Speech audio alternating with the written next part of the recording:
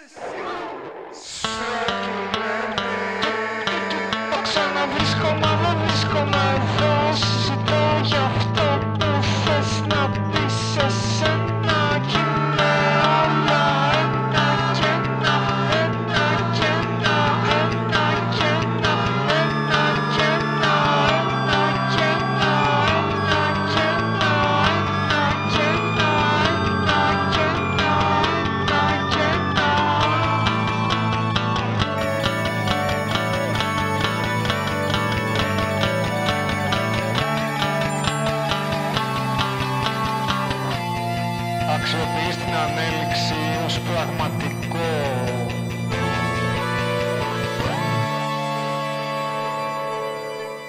Υγρή ψυχομιστολογική ορίμανση.